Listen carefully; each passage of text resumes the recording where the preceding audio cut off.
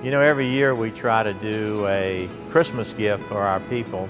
And uh, this past year, Jeff Gordon retired. So I wanted to do a special ring for Jeff to commemorate all the years he was with us as a driver and what he's meant to our company.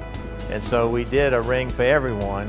It takes a while to get 600 rings done, so we gave them out today, and it was really special to do it with Jeff.